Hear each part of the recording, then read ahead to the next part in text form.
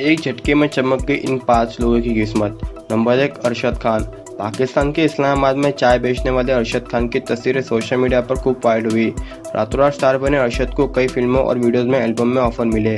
बता दें कि अरशद खान दिखने में काफ़ी हैंडसम है और उनकी तस्वीरें इंटरनेट पर वायरल हो गई। उन्हें हॉट चाय वाला के नाम से टैग दिया है। नंबर दो, नेपाली सब्ज़ी वाला। नेपाल में सब्ज़ी बेचने की तस्वीरें इंटरनेट पर खूब वायरल हुई। उनकी सुंदरता के लोग दीवाने हो गए और उनके जमकर सब्ज़ी वाले की तस्वीरें शेयर की गई।